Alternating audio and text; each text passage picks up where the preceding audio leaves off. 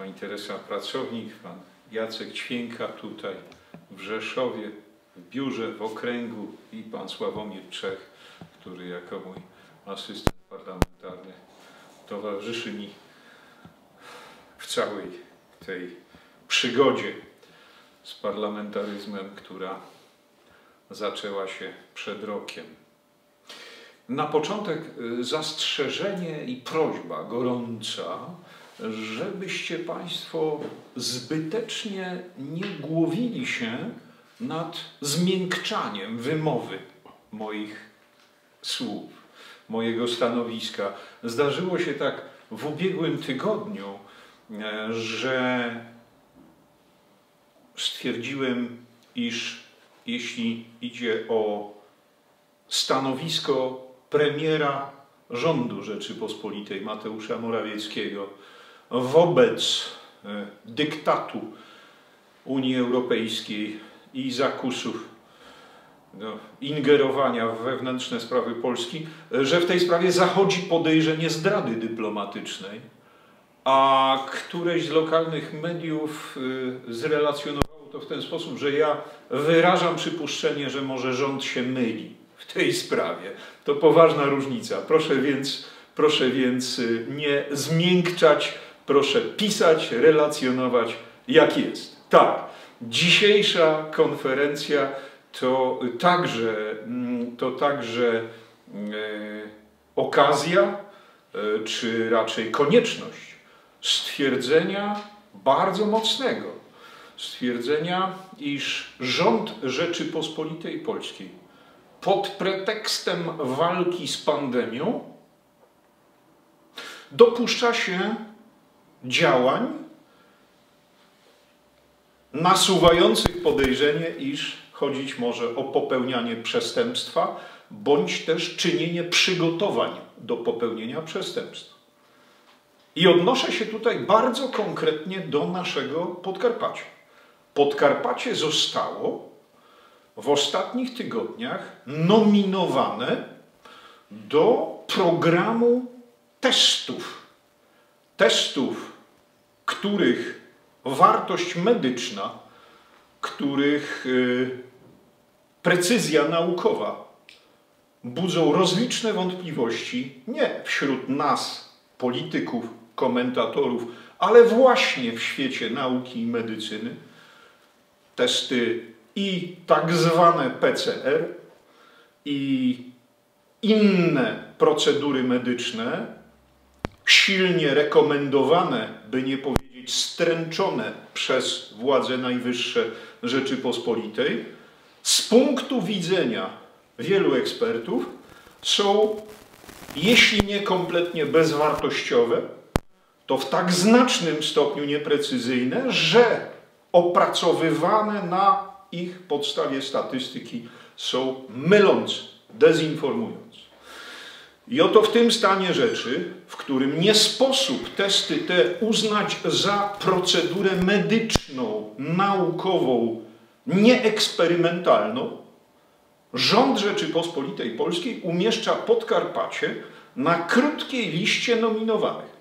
Wespół z województwem małopolskim i województwem śląskim, a więc cała nasza południowa ściana, żeby nie powiedzieć przedmurze polskości, zostało nominowane do ni mniej, ni więcej przeprowadzenia eksperymentu medycznego. I otóż, Szanowni Państwo, chciałbym to wyraźnie stwierdzić i liczę, że Państwo e, tej wyrazistości nie ujmiecie moim słowom w swoich relacjach, że poddawanie eksperymentom medycznym jest zakazane konstytucyjnie. Nie kodeksowo, nie praktyka i zwyczaj, ale najwyższy akt prawny, jaki stanowić powinien podstawę organizacji prawnoustrojowej naszego państwa, surowo zakazuje poddawania obywateli polskich i mieszkańców Rzeczypospolitej eksperymentom medycznym. Bez ich wiedzy i woli nie wolno naszym rodakom, współobywatelom i nam nie wolno aplikować żadnej procedury medycznej, której byśmy sobie nie życzyli, albo co do przeznaczenia, celów której i skutków ewentualnych nie mielibyśmy pełnej informacji.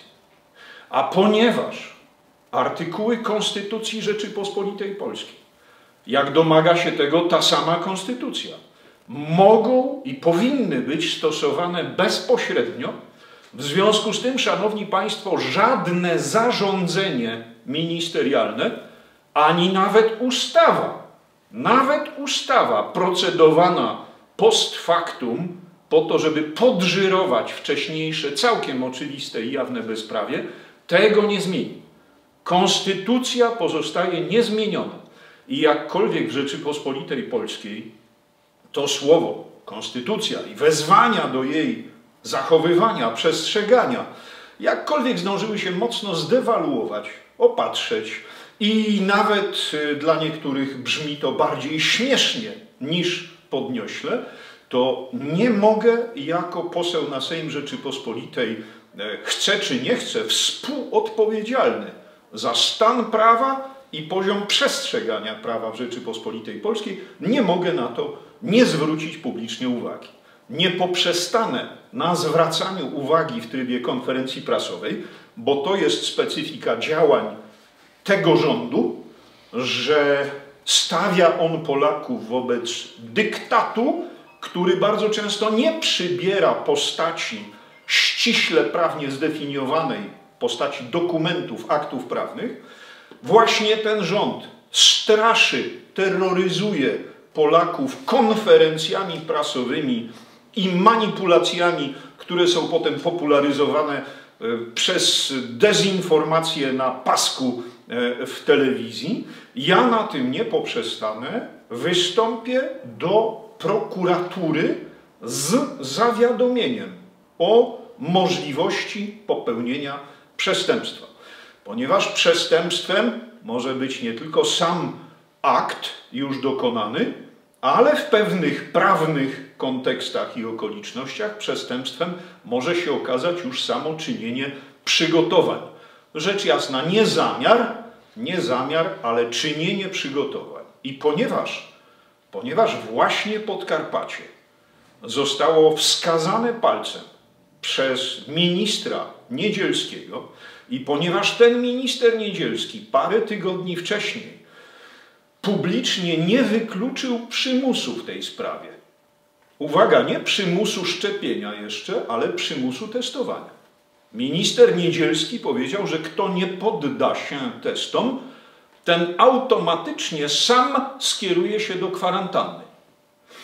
Ponieważ odnotowałem te słowa, wzmacnia to z mojego punktu widzenia podejrzenie, że rząd w osobach ministrów konstytucyjnych, w osobie premiera rządu wkroczył na ścieżkę bezprawia.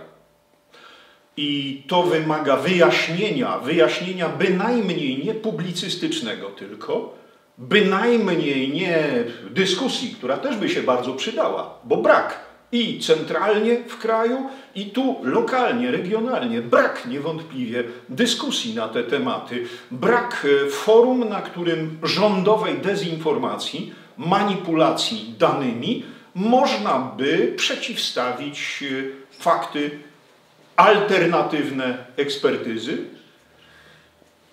Nie ma tej przestrzeni do dyskusji, ale sama dyskusja sprawy nie rozwiąże, dlatego będę starał się, podejmując czynności prawne, skłonić do działania konstytucyjne organy Rzeczypospolitej Polskiej, e, których e, powinnością jest e, dociekanie i ewentualne przykładne karanie działalności przestępczej. Jak wiadomo, jeśli przestępstw dopuszczają się osoby publiczne, jeśli przestępstw dopuszczają się osoby e, odpowiedzialne z urzędu za przestrzeganie prawa, no to miałoby to wymiar szczególnie horrendalny i na pewno powinna to być okoliczność obciążająca, bynajmniej nie łagodząca przed ewentualnymi sądami trybunałami. Może jeszcze tytułem przypisu, Szanowni Państwo, dlaczego mówię o dezinformacji? kiedy rząd mówi o pandemii, kiedy rząd y, informuje codziennie o zakażeniach, zachorowaniach, zgonach. No mówię o manipulacji, dlatego że y, czas wreszcie odtrąbić wielki sukces medycyny współczesnej. Szanowni Państwo, praktyczne wyeliminowanie grypy z naszego życia. Banalna, zwyczajna grypa. I jej epidemie wygląda na to, że należą już do przeszłości. Dane statystyczne w naszym kraju podpowiadają nam, że grypa, a także inne zachorowania, że tak powiem, konwencjonalne schorzenia, co do liczby przypadków, spadły o połowę, a są takie zakątki w naszym pięknym kraju i, i, i w szerokim świecie, w których grypa została statystycznie, statystycznie z pozoru wyeliminowana, ponieważ nie notuje się już tu i ówdzie w ogóle jakichkolwiek przypadków zachorowań na grypę. Akurat nie u nas, ale może Państwo tego nie odnotowaliście, w stanie Waszyngton statystyki grypy w tym sezonie zero. Zero. Ponieważ e, całe miejsce w statystykach e, zajął jedynie słuszny, modny i przez rządy rekomendowany wirus.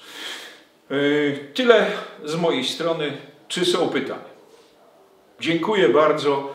E, proszę zatem o śledzenie tej sprawy. Proszę o, e, o to, żebyście Państwo mm, sami doceniali powagę sytuacji. Podkarpacie na całym kontynencie europejskim i w szerokim świecie miałoby otwierać listę tych regionów, bądź co bądź jednak gęsto zaludnionych i, i mających swoje tradycje państwowe, prawnoustrojowe, tych regionów, które będą wśród pierwszych, jakim rząd y, y, zaoferuje y, to mniemane dobrodziejstwo, jakim mają być testy, a w perspektywie to rząd tego również nie ukrywa szczepienia. Przy czym mówi się o dobrowolności szczepień, ale w wypadku testów minister Niedzielski już E, tej pewności nie ma. E, lepiej zatem być ostrożnym przed faktem niż po szkodzie. Dziękuję za uwagę. Z Panem Bogiem.